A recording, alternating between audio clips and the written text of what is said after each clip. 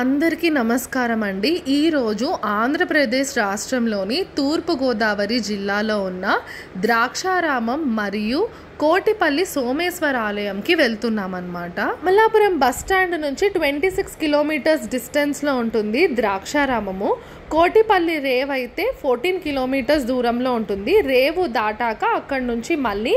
మనము ద్రాక్షారామంకి వెళ్తామన్నమాట కోటిపల్లి రేవుకి దగ్గరలో సోమేశ్వర ఆలయం ఉంటుంది ఇప్పుడు మేము బండి మీద వెళ్తున్నాం కాబట్టి మేము ఫస్ట్ ద్రాక్షారామం చూసుకుని తర్వాత సోమేశ్వర ఆలయం చూసుకుని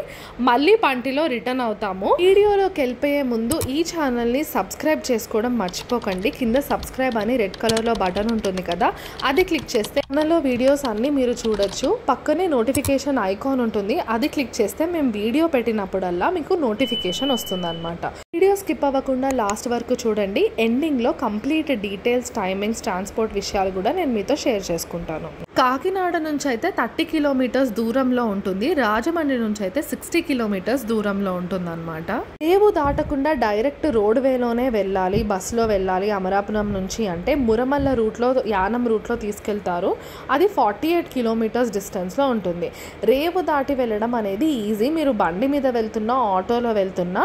ఆ రేవులో ఆటో అండ్ బండిని కూడా ఎక్కించవచ్చు అనమాట సో రేవు దాటిన తర్వాత మళ్ళీ అదే వెహికల్లో మీరు కంటిన్యూ అవ్వచ్చు పబ్లిక్ ట్రాన్స్పోర్ట్ అయితే కోటిపల్లి రేవు వరకు బస్సెస్ ఉంటాయి మళ్ళీ రేవు దిగిన తర్వాత గుడి వరకు కూడా బస్సెస్ ఉంటాయి సో అలా కూడా మీరు ప్లాన్ చేసుకోవచ్చు అమలాపురం బస్టాండ్ నుంచి స్టార్ట్ అయ్యామనుకోండి కోటిపల్లి రేవ్ వరకు ఒక ట్వంటీ మినిట్స్ టైం పడుతుంది అనమాట మళ్ళీ అక్కడ పంటిలో జర్నీ వచ్చేసి ఒక ఫిఫ్టీన్ మినిట్స్ పడుతుంది అక్కడి నుంచి గుడికి వెళ్ళడానికి ఇంకొక ట్వంటీ మినిట్స్ అలా అనమాట total one hour of journey Amalapuram నుంచి ద్రాక్షారామం వరకు పంటి ఎక్కేటప్పుడు మనము టికెట్ తీసుకోవాలి ఇండివిజువల్ పర్సన్కి అండ్ మనం వెహికల్ వస్తుంటే ఏ వెహికల్లో వస్తున్నామో ఆ వెహికల్ని బట్టి అమౌంట్ అనేది డిసైడ్ అవుతుందన్నమాట సో మేము టూ వీలర్లో వెళ్ళాం కాబట్టి వెహికల్కి థర్టీ రూపీస్ టికెట్ ఇచ్చారు పర్ పర్సన్ వచ్చేసి ఫిఫ్టీన్ రూపీస్ టికెట్ ఇచ్చారు సో టోటల్ సిక్స్టీ రూపీస్ అయింది ఒకవేళ మీరు ట్రైన్లో వస్తున్నట్టయితే రాజమండ్రిలో దిగి అక్కడ నుంచి సిక్స్టీ కిలోమీటర్స్ ట్రావెల్ చేసి బస్సులో కోటిపల్లికి వెళ్ళిపోవచ్చు అనమాట యాక్చువల్గా ఏంటి అంటే నర్సాపురం నుంచి కాకినాడకి రైల్వే బ్రిడ్జ్ అనేది కన్స్ట్రక్షన్ చేసి మధ్యలో ఆపేశారనమాట ఒకవేళ అదే బ్రిడ్జ్ అనేది కంటిన్యూ అయ్యి కంప్లీట్ అయ్యిందనుకోండి కోటిపల్లి మీదుగా వెళ్తుంది అప్పుడు ఇంకా ఫాస్ట్గా జర్నీ అనేది కంప్లీట్ చేసుకోవచ్చు ఇంకా ఫాస్ట్గా వెళ్ళిపోవచ్చు అనమాట ద్రాక్షారామము ఈ కోటిపల్లి సోమేశ్వర ఆలయంకి ఫైనల్లీ మేము టికెట్స్ తీసేసుకున్నాము పంటిలో ఎక్కడానికి రెడీ అయిపోయామన్నమాట మనకు అటు సైడ్ నుంచి పంట వచ్చేసింది చూశారు కదా తాడులతో కట్టి దాన్ని ఆపుతున్నారు సో వెహికల్స్ అన్నీ బయటకు రావాలి అంటే ఇసుక మొత్తం అడ్డుంది సో వాళ్ళు ఒక చెక్క ముక్కలు అవి వేసి బయటకు లాగుతున్నారనమాట సో చూస్తుంటే చాలా అమేజింగ్ ఉంది అంటే ఫస్ట్ టైం చూస్తున్నా కాబట్టి ఇలా ఉంది అక్కడ రెగ్యులర్గా ట్రావెల్ చేసిన వాళ్ళకైతే అలవాటు అయిపోతుంది అనమాట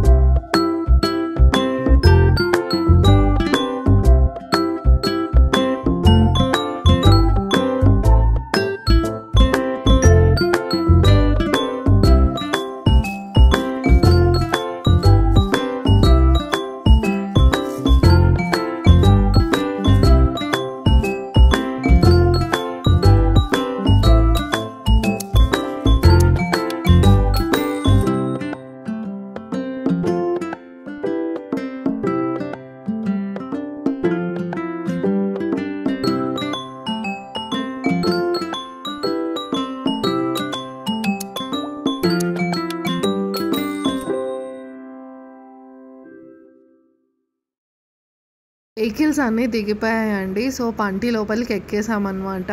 చాలా ప్రశాంతంగా అందంగా ఉంది అండ్ లోపలికి వచ్చి కూర్చున్నాము సో అందరు ముందు ఎక్కేసిన తర్వాత వెహికల్స్ అనేవి లోపల పెడతారు బండులు ఒకటే కాదు కార్స్ ట్యాక్సీలు ఈవెన్ సెవెన్ సీటర్ ఆటోస్ కూడా లోపలికి వస్తాయన్నమాట సో వాటికి డిఫరెంట్ రేట్ అనేది ఉంటుంది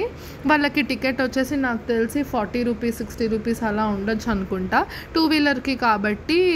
థర్టీ రూపీస్ తీసుకున్నాడు టికెట్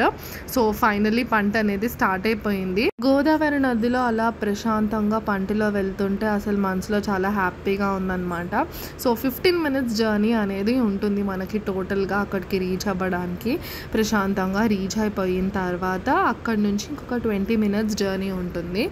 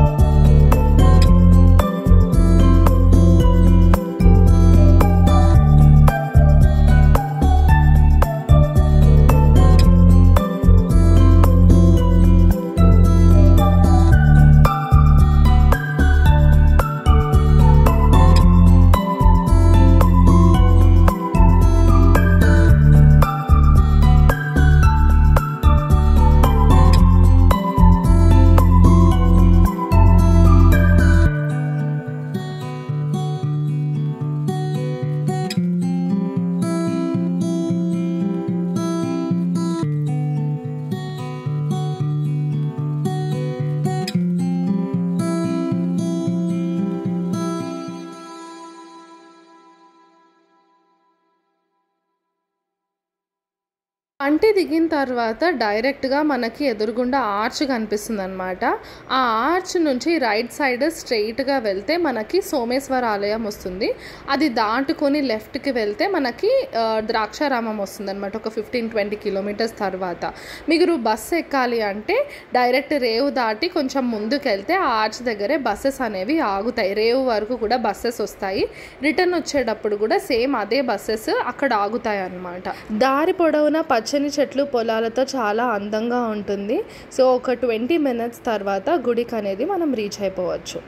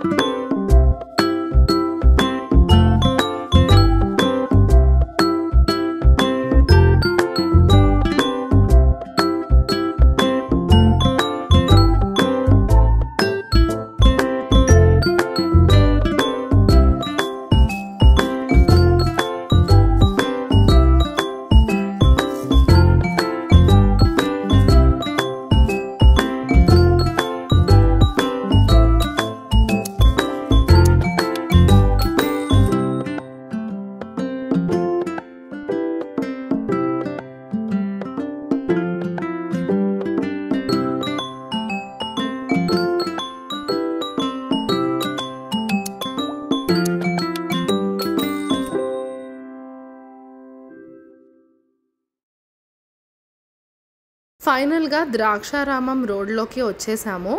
దేశంలో ఎక్కడ లేని విధంగా పరమేశ్వరుడికి సంబంధించి పంచారామ క్షేత్రాలు అంటే ఐదు దేవాలయాలు ఆంధ్రప్రదేశ్లోనే ఉన్నాయన్నమాట వాటిలో ఒకటి ద్రాక్షారామం క్షేత్రం ఇక్కడ భీమేశ్వర స్వామి వారు ఆత్మలింగ రూపంలో అష్టాదశ శక్తిపీఠాల్లో ఒకటైన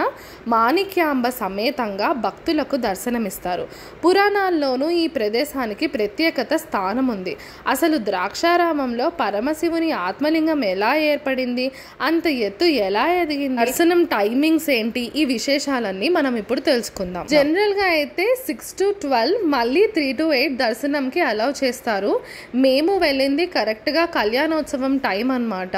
సో ఆ టైంలో ఏంటంటే ముందుగానే లెవెన్కే క్లోజ్ చేసేసారు అనమాట దర్శనం మళ్ళీ త్రీ త్రీ థర్టీకి స్టార్ట్ అవుతుంది అన్నారు ఈ లోపల అక్కడ నిత్యాన్నదానం అవుతుంటే అక్కడికి వెళ్ళాము తర్వాత చుట్టుపక్కల చాలా టెంపుల్స్ ఉన్నాయన్నమాట గుడి లోపలే సో అవన్నీ మనం చూడొచ్చు టెంపుల్ హిస్టరీ ఏంటి అంటే పురాణాల ప్రకారం తారకాసురుడు అనే రాక్షసుడు శివుడి కోసం ఘోర తపస్సు చేసి పరమేశ్వరుడి సాక్షాత్కారం పొందారంట తారకాసురుడి భక్తికి మెచ్చిన పరమేశ్వరుడు ఏం వరం కావాలి అని అడగగా ఆత్మలింగం కావాలి అని కోరుకుంటాడు దీంతో శివుడు తారకాసురుడికి ఆత్మలింగం వరంగా సాధిస్తారు బాలకుడి చేతిలో తప్ప మరెవ్వరి చేతిలోనూ తనకు మరణం ఉండకూడదు అనే వరాన్ని కూడా తారకాసురుడు పొందుతాడు బాలకులు భక్తులు తనను ఏమీ చేయలేరనే భావనతో ఈ వరాన్ని కోరుకుంటాడు పరమేశ్వరుడు ప్రసాదించిన ఆత్మలింగాన్ని తన గొంతులో దాచుకుంటాడు ఆ వర గర్వంతో దేవతలను ఋషులను ప్రజలను అనేక ఇబ్బందులకు గురి చేశాడు తారకాసురుడి ఆగడాలను తట్టుకోలేని దేవతలు విష్ణువు వద్దకు వెళ్ళి రక్షించమని వేడుకుంటారు అప్పుడు విష్ణువు తారకాసురుడు వధించడం ఎవరి వల్ల కాదని శివాంసతో జన్మించిన బాలకుడి వలనే దీనికి పరిష్కారం లభిస్తుందని చెప్తారనమాట దీంతో దేవతలు పరమేశ్వరుని శరణుగా వేడగా పరమేశ్వరుడు పార్వతీదేవితో కలిసి కుమారస్వామికి జన్మనిస్తారు రుద్రగణములకు ఆధిపత్యం వహించి కుమారస్వామి తారకాసురుడిపై యుద్ధం చేస్తాడు ఆత్మలింగాన్ని ఛేదిస్తేనే తారకాసుని వధించడం సాధ్యం పడుతుందని తెలుసుకుని తారకాసుని గొంతులో బాణాన్ని ప్రయోగిస్తారు దీంతో ఆత్మలింగం ఐదు ముక్కలుగా చెదిరిపడి తారకాసురుడు మరణిస్తాడు భూమిపై ఐదు ముక్కలుగా పడిన ఆత్మలింగాలను అదే ప్రదేశంలో కుమారస్వామి ఇతర దేవతలు ప్రతిష్ఠించారు అవే ద్రాక్షారామం సహా ఆంధ్రప్రదేశ్లో ఉన్న పంచారామ క్షేత్రాలు చాళుక్య రాజైన భీముడు ద్రాక్షారామం ఆలయాన్ని నిర్మించడంతో దీనిని భీమేశ్వర ఆలయంగా పిలుస్తారు మహాశివుని ఆత్మలింగంతో పాటు అష్టాదశ శక్తిపీఠాల్లో ఒకటైన మాణిక్యాంబ అమ్మవారు ద్రాక్షారామంలో భక్తులకు దర్శనమిస్తారు పురాణాల ప్రకారం సతీదేవి తన తండ్రి